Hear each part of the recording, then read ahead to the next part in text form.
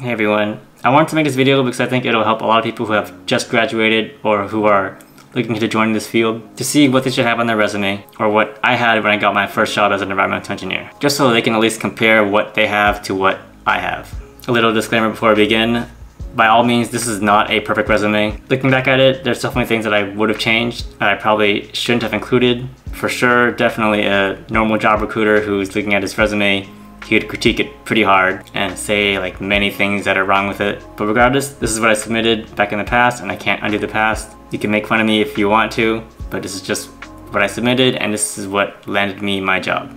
Also, just to be clear, this is not sent to just like one job. This was sent to like multiple other environmental related jobs. I sent this one resume to over like 300 jobs and I want to emphasize that 300 jobs is a lot. I know it's discouraging to hear, but like that's reality. Whether it was just like a horrible job market at the time or maybe my resume just sucked that much. I got rejected multiple times. And I'm gonna say this to your face right now, you're gonna face a lot of rejections too. But the good thing is that all you need is just, you know, one acceptance letter to get the ball rolling and get your foot in the door to start this career. So with that all out of the way, I'm gonna go to my computer, open up my resume, and just voice over the details of my resume. This resume was used after I got laid off and transitioned from my cancer research slash biology related job to a fully dedicated environmental engineering position.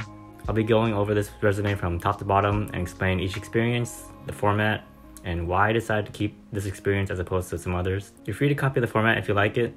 There's no right or wrong format to resume, just like how it is to write a book. It's up to you how you want to write it. It's not plagiarism or anything because I got this format from one of my career centers at my university or from online I forgot where, but I took the format from somewhere else too. Starting at the very top, I have my name and contact information. Your name should be big and the first thing the recruiter should see. You want to stand out and be very obvious who you are. Don't be ashamed or embarrassed thinking that you shouldn't do this. You need to do this. I don't know what font size is the best, but anything bigger than the rest of the text. Next is my contact information below my name. The changes I have here is that I changed my address, phone number, and personal information for obvious reasons. I also included my LinkedIn URL beneath that, just in case they want to look me up, you know, see my picture, and look at other experiences. I highly recommend it because it also notifies me when another recruiter checks me out, so I know that they're not just some robot and are actually doing their due diligence doing some background check or, you know, like online stalking of potential employees. I also realized that on LinkedIn you can customize that URL for example, you see my Randy Ly dash 96A7B and all these other extra numbers. You can remove those random numbers and just have Randy dash Ly on it if you want. Just search how to do that yourself. I won't be explaining that in this video. But there is an option to do that and doing that will make it look cleaner and more professional. That's what I would have changed if I could go back in time. It just looks nicer that way. Also, it's good to have some sort of professional online resume at this day and age. We're no longer doing like paper resumes. It's all like digital now, so please do keep up with the times if you have like an online resume or some other online project that you can demonstrate your skills, this is where you want to put it. If you have like any personal website or something, put it here. Show them what more you can do that you can't display on a paper resume. Next, I jump straight into my education. I know some resumes have like an objective section. I honestly think it's unnecessary and a waste of valuable space on a resume.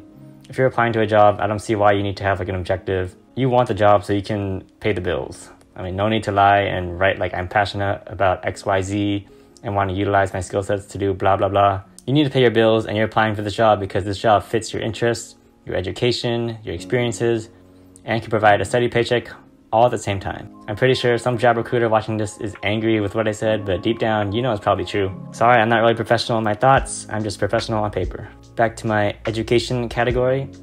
I formatted my schools in bold, added my graduation date to the right of it, and added my major underneath the university. Some people have the education category on the side, some have it near the end of the resume, and you know I prefer it at the top, that way recruiters can know right away what education I have.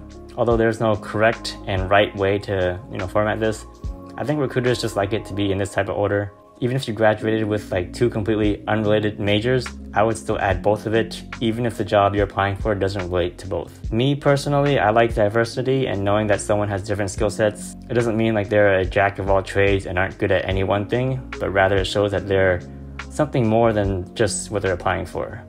At least that's how I interpret education. Now we move into the meat of the resume, which is the work experience.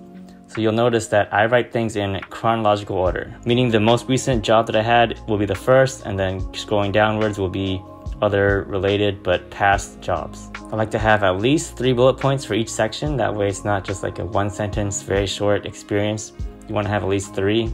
Some experiences are pretty long and lengthy. From what I've heard, it should be long enough to reach one edge of the margin to the other side, so from left to right. You want to make it a full sentence. And you want to make it relatable to the position you're applying for.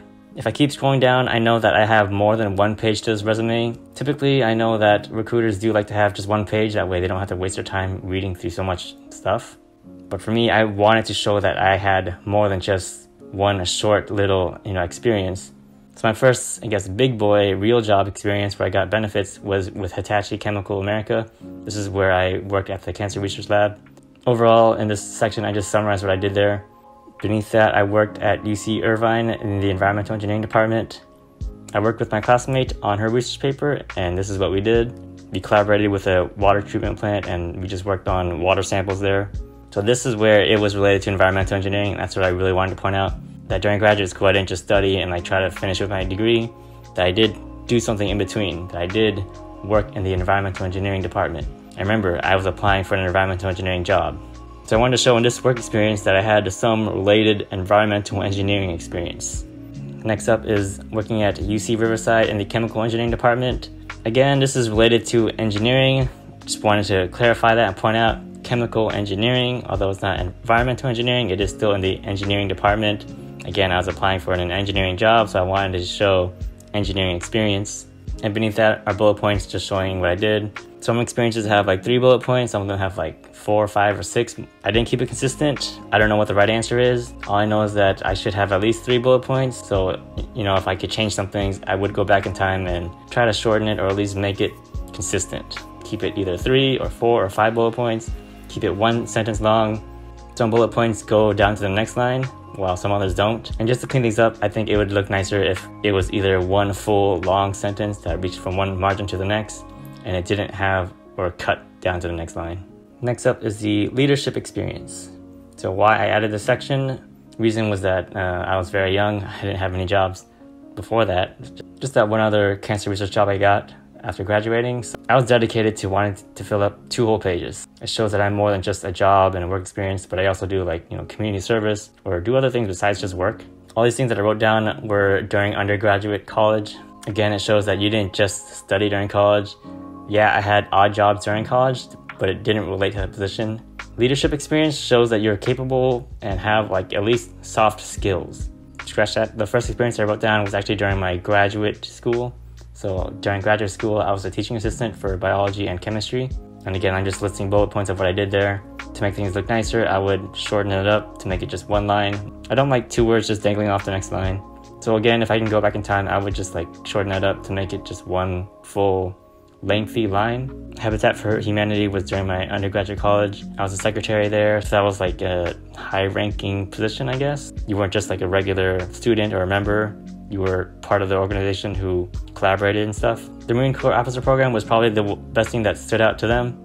It stood out because the job that I applied for was on an Air Force base, so they were really impressed with that. They knew that I can adapt pretty quickly to the military role. So that's why you sort of want to add all these things in, just so they too can know that you're more than just an environmental engineer. The next category are the computer skills. I gained these during undergraduate and graduate school. Again, I'm adding this category because I wanted to fill up tool pages of relevant or important skills. Say I worked at a restaurant, for example. I didn't want to write down that I worked for a restaurant just to make sure I fill up two pages. I'd rather delete that restaurant experience and add in computer skills to make it show that you have these skills that are at least relatable to your position. So Microsoft Office or like MATLAB and AutoCAD, those things are environmental or at least engineering related. Next up, I have laboratory equipment skills. I added this in because it's really the same reason for adding the computer skills, except its own little separate category. I have so much of these skills because I worked in a research lab for my previous job and I majored in chemistry, so I was familiar, or at least I experienced, or at least touched these machines during my chemistry major. Honestly, none of it was used during my job as an environmental engineer, but at least the recruiter and the manager they were glad to know that I knew hard science and like chemistry. This could be the reason why they gave me the hazardous waste and hazardous materials program. So they knew I wouldn't like just categorize certain materials together and like, you know, be a danger to myself. They knew that I was smart enough to separate these items. And lastly are the awards and certificates. So this is where you will show off your achievements. Since I applied for an engineering position, I wanted them to know that I had my EIT, the Engineering Training Certificate, just to prove that I was serious about engineering. Turns out that none of them, not even my manager, was a professional engineer, so in a way I had already outranked them, not in like a threatening way, but in a way where I was more focused and serious about my engineering career. The next bullet point were the awards I got during my undergraduate, the Dean's List. just shows how smart you are and how hard you work. But honestly, no one cares, although, I mean, it looks nice and it is impressive. Lastly is this ACS undergraduate award, the American Chemical Society. I got this award during my undergraduate too, just for analytical chemistry because I really enjoyed the class and I achieved like I think the highest grade for that class. It was a fun and happy moment when I received it during my undergrad, but none of it was used during my work, and again, no one really cares. Sorry to say that. So overall, I want to talk about the format. In total, there are two pages to this resume. I had a lot to write, so one page wasn't enough, which is why I wanted to make two pages. I'm very sure most recruiters prefer one page only because they don't want to spend the time to look through multiple pages and read it, especially if they have like hundreds of applicants. So just the warning, don't waste their time. I have normal margins, which is just one inch margins to the left, the right, and the top. Obviously, you can adjust depending on how much information you have. If you have a lot, just change it to narrow, which can be like 0.5 or 0.75 inches left and right. Again, there's no right or wrong format. You can just choose how much you want spaced out. I want to say this again. I am not a resume expert, so I can't say what job recruiters prefer or if this is good or bad. I just did this because I think it looked good, but that's just my own personal opinion. And that's it. That's my resume. Hopefully you learned a thing or two from this video, such as what to do, what not to do, what to include, what not to include, maybe even how to format it if you prefer my style versus what you currently have on yours. Again, this is not the perfect resume and it does have many mistakes that I pointed out. This is just the resume that got me into this field and it was, I guess, acceptable to the managers that hired me. The resume is the first thing that job recruiters and managers will see. And if they don't like that, then they'll just trash it. And that could be the reason why I had to apply to over like 300 jobs. So if you don't want to waste your time applying to the next job and, you know, waste the job recruiter's time, then make sure your, your resume is well crafted. The fact that I had to apply to over 300 jobs with this resume could signify that this resume is really bad. So take this resume with a grain of salt if you want to copy the format. Just make sure you have the right experiences and you, you know, write things well, good grammar, make it look professional, and you should be good to go, at least better than mine. Alright, that's all I have for the video. Thanks for watching, and I'll see you in the next one. Goodbye.